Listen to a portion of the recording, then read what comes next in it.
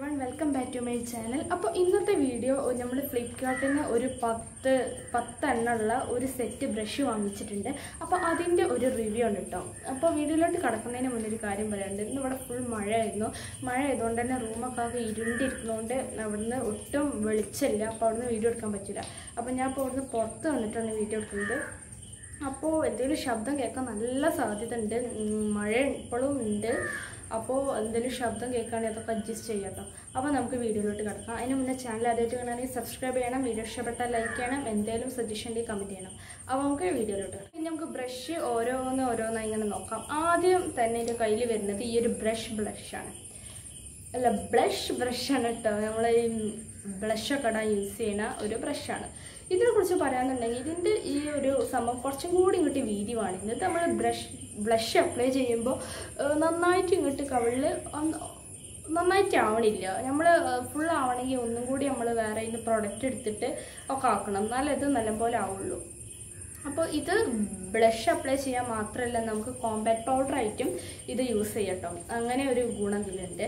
അപ്പോൾ ഇത് അത്യാവശ്യം കുഴപ്പമില്ലാത്തൊരു ബ്രഷാണ് ഓക്കെ ഇനി നെക്സ്റ്റ് ആയിട്ട് വരുന്നത് ഈ ഒരു കോണ്ടോർ ബ്രഷാണ് ഇത് ഞാൻ അങ്ങനെ കോണ്ടോർ ചെയ്യാറില്ല. അപ്പോൾ ഇതിന്റെ യൂസേജ് എങ്ങനെയെന്നൊന്നും എനിക്കറിയില്ല.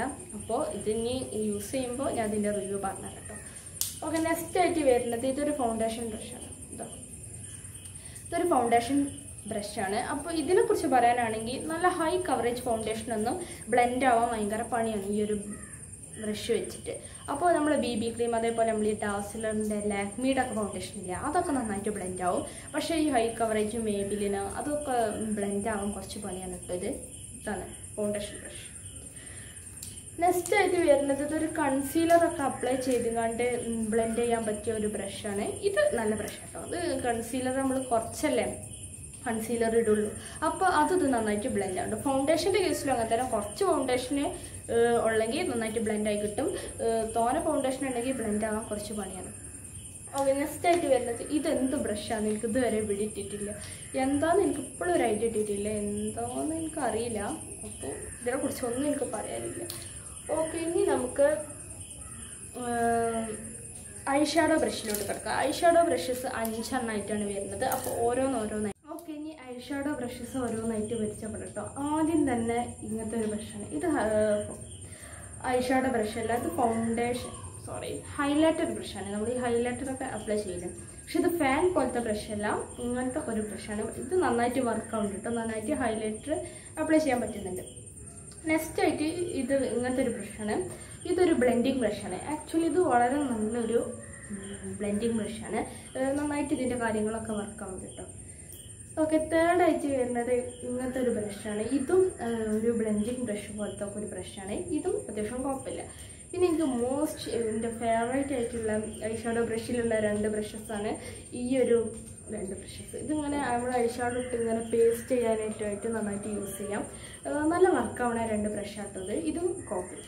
ഓക്കെ അപ്പോൾ നമ്മളിവിടെ എല്ലാ ബ്രഷും കാണിച്ചു കഴിഞ്ഞ് ഇതിന്റെ റേറ്റ് അങ്ങനത്തെ കാര്യങ്ങളൊക്കെ പറയാം.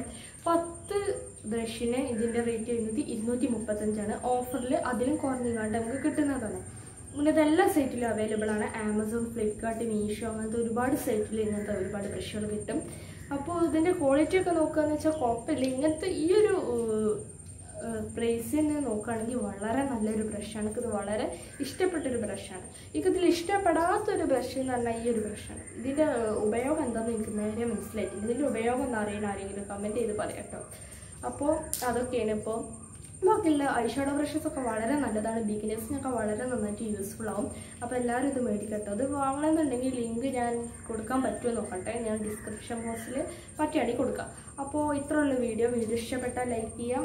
ചാനൽ ആദ്യമായിട്ട് വേണമെങ്കിൽ സബ്സ്ക്രൈബ് ചെയ്യാം. എന്തെങ്കിലും സജഷൻ ഉണ്ടെങ്കിൽ കമന്റ് ചെയ്യട്ടോ. അപ്പോൾ നമുക്ക് നെക്സ്റ്റ് വീഡിയോ കാണുന്നവരെ ടെറ്റ ബൈ ബൈ